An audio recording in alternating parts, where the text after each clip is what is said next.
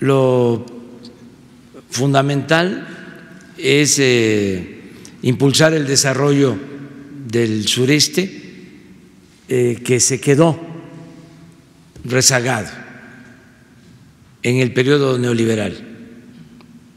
Em, creció el norte, poco, pero creció, creció el Bajío, creció el centro, menos, y el sur sureste decreció.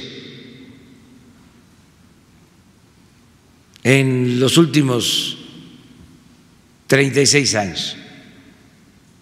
Solo hubo crecimiento aquí.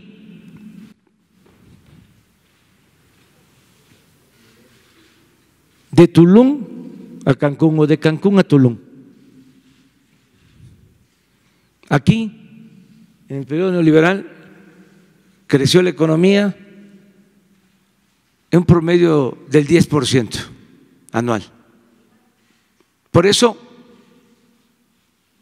de todo el sureste, el sur, llegaron miles a buscarse la vida a esta región por el turismo. Hasta ahora sigue creciendo.